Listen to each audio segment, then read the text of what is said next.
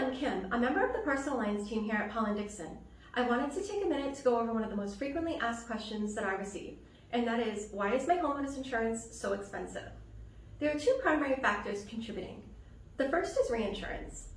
So insurance companies purchase insurance just like you and I do. They need to protect themselves against catastrophic loss as well.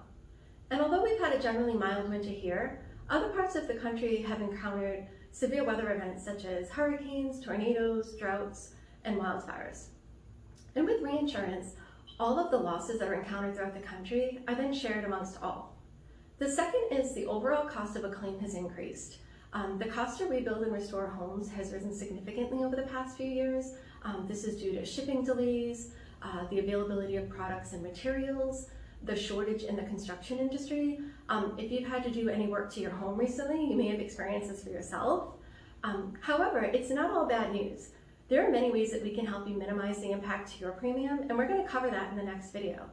In the meantime, please feel free to call, text, or email your account manager so that we can make sure that you're receiving the best option. Thank you.